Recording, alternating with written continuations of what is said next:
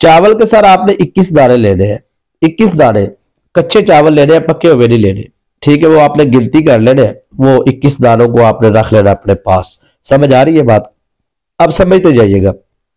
उनके ऊपर आपने सुरह फातह पढ़नी है और सुरह कोसर पढ़नी है। और उसके बाद आपने पढ़ना या वहाबू, या रजाक। ये आज का हमारा अमल है। तरतीब में आपको समझा देता तो क्योंकि सुरह फातिहा जो उनसी है, इसकी बहुत पावर है, ताकत है। सूर्य कोसर जो सी है, इसकी तो लाजवाब ताकत है। और ये खिजरी तादाद में इसको पढ़ना है आपने खिजरी अमल है। और मैं आपको ये बताता चलूँ, इब्तदा में ही कि ये अमल की इतनी ताकत है कि सूर्य कौसर और सूर्य फातिहा और या वहाबू या रजाकू जो बंदा इस अमल का आमिल होता है, ठीक है जी तो उस बंदे को ज़िंदगी के अंदर, हर मैदान के अंदर कामयाबी मिलती है। हर मैदान, अगर वो प्रॉपर्टी डीलर है ना तो उसके एक प्लाट बिकेगा तो दस उसके प्लाट उसके पास हो रहा जाएगा ब्यूटी पार्लर है, कोई भी मर्दों खातन कर सकते हैं सलोन है, कोई भी कपड़े का कारोबार है, जूती का कारोबार है, कोई भी कारोबार है आपका। इनशाला उसमें ऐसी बरकत सर मिलना शुरू हो जाएगी आपको कि आपका दिल करेगा, आप इस अमल को ना अपनी ज़िंदगी का मामूल फिर बना लेंगे फजर की नमाज़ के बाद आपने इस अमल को पढ़ना है। ये बात जेन में रखनी है। ठीक है ना जी? तो वो अमल आपने फजर की नमाज़ पढ़ के आप कर ले या फजर पढ़ने से पहले कर ले, ये आपकी मर्ज़ी है ना। आप तजुद के वक्त भी कर सकते हैं, फजर की अजानों से पहले भी कर सकते हैं, कोई इसमें पाबंदी नहीं है। यानी कि आप तजुद के वक्त कर ले, फजर की नमाज़ पढ़ने से पहले कर ले, फजर की नमाज़ पढ़ के कर ले, मर्द करे, खातून करे खातन करे, कोई मसला नहीं है। सिर्फ़ आपने समझ रहा है, तरीका समझ रहा ताकि आपको रजत ना हो, आपको परेशानी ना हो। अब आपने फोर्टी फोर्टी वन, ये इकतालीस दाने आपने ले लेने और इसके ऊपर सर आपने अमल करना है। अमल कैसे करना है, ये समझते जाइएगा। आपने वो दाने अपने पास रखने और एक दाना आपने उठाना है और उसके ऊपर आपने अमल करना शुरू कर देना इस तरह आप एक दाना उठाना है और दूसरे को रख देना है। इस तरह दम करते रहे हल्का हल्का ठीक है साथ साथ पढ़ाई करते रहे। ठीक है, अब हर दाने पर आपने ये नहीं कि पूरी जो मैं पढ़ाई बताने जा रहा हूँ, सुरह फातिहा, सुरह कौसर और या बाबू और या रजाकू, ये आपने हर दाने पे नहीं पढ़ना अलहदा अलहदा ठीक है, आपने बस एक दाना उठाना, इस तरह दम करना, रख देना रख देना। अब वो दाने जो से ना इकतालीस दाने जब आपकी पढ़ाई मुकम्मल हो जाए, सब दानों पे आपने यक मार्गी से आपने दम कर देना है। ठीक है, एक दम आपने इस तरह आपने दम कर देना। दम करने के बाद वो इकतालीस दाने, उन दानों के अंदर आप थोड़ी सी चीनी मिला लें, थोड़ी सी और दाने मिला लें, थोड़ी सी और आप जो है, वो मुख्तलिफ़ किस्म की दालें मिक्स कर लें। उसको आप मिक्स करने के बाद जो है आपने उसको जितना भी आपके पास है, वो आपकी मर्ज़ी है, आप जितना भी करना चाहते हैं, वो आपने जाके बाहर बेजुबान जानवरों के लिए रखवा देने। यकीन मानिए कि मैं कहता हूँ कि अगर आपके ऊपर पचास करोड़ का भी कर्ज है ना, इससे आगे की भी है तो आप ऐसे कर्ज से निजात जैसे मक्खन से बाल निकलते हैं। ऐसे रस्ते खुलने शुरू हो जाए जरा। ये मैंने अमल उन लोगों को करवाया जो मायूस हो चुके थे। अमल याद कर करके ना थक नहीं जाता जैसे बंदा कि यार कौन सा अमल करे? कोई जनरल अमल आप मुझे फ़ोन आता ना जब वो कहते हैं, आप जनरल अमल बताए हमें। मुझे, मैं कहता हूँ, मेरे चैनल पर हर अमल मुजरब होता है। और मैं आस्ताना लिया हजूर की अब्दुल सरकार अहमत पीर रबानी सरकार अहमत के फैज से मैं जो भी आपको अमलियात की दुनिया के अंदर अमल बताता हूँ, ईमानदारी से बताता हूँ। वाकयात पर किससे कहानियों पर मेरे वीडियोज़ नहीं होती। देखे बहुत सारे वाकयात मेरे पास होते हैं। आप लोगों के हवाले से भी बहुत सारे दोस्त भी बताते हैं, जहरी बात है, बहुत सारे लोगों को फ़ायदा हासिल भी होते हैं। लेकिन यकीन मानिए मैं कोशिश करता हूँ कि अपने सुनने वाले ज़ोर से जितने व्यूवर्स है आप मेरी 20-30 मिनट वाली वीडियोस अगर टाइम निकाल के देख ले तो आपको पता लगेगा उसके अंदर रजत पे बात हुई है सार पे बात हुई।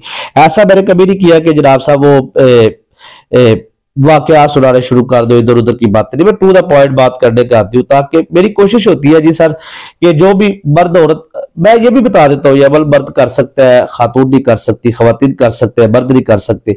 ठीक है ना जी? ये जो अमल मैं आपको बताने जा रहा हूँ ना, इस अमल को तो मैं कहता हूँ कि हर उम्र की, हर लोग इसको कर सकते हैं। इसमें रजत है ही नहीं सर, सिर्फ़ आपने एहतियात कर दी है। क्योंकि आप फजर के टाइम इस अमल को कर रहे हैं तो ये अमल इतना पावरफुल है क्योंकि फजर में आने वाली जो रूहानी ताकतें होती है वो आप सोच भी नहीं सकते।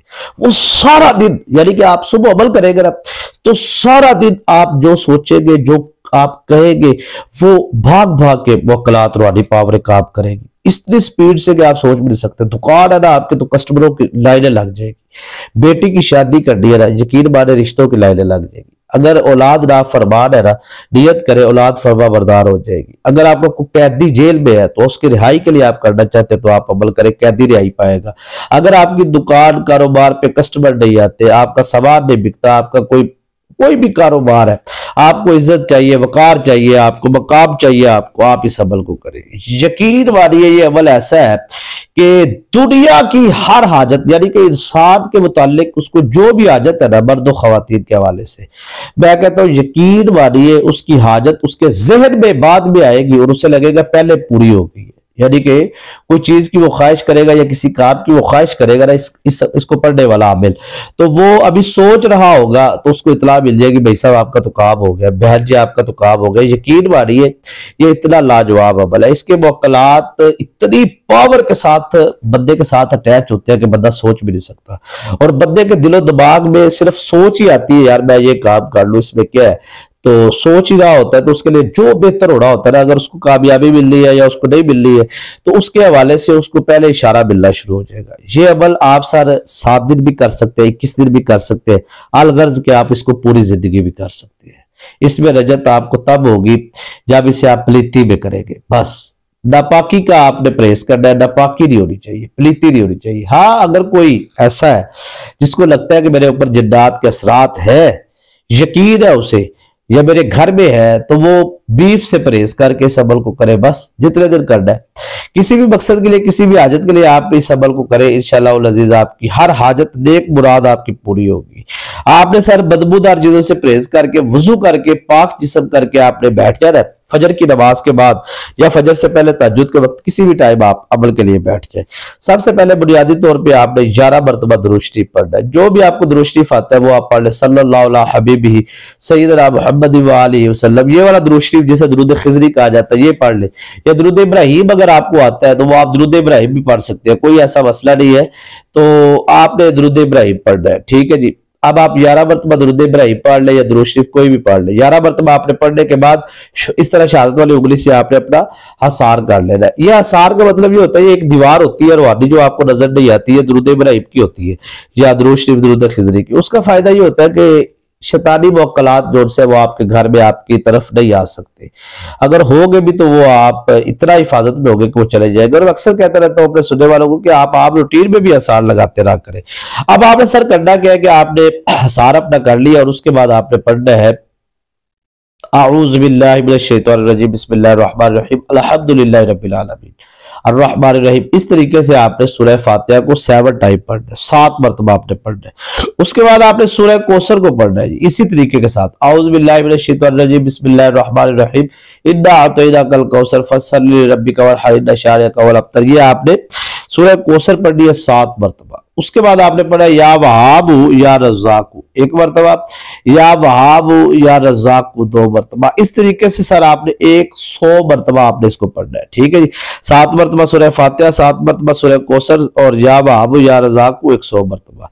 ये पढ़ने के बाद आप, अब आपने इख्ताब पर नियत करनी है और दुआ मांगनी अल्लाह की बारगाह में यकीन अल्लाह पाक आपको कामयाब करेगा। दुआ में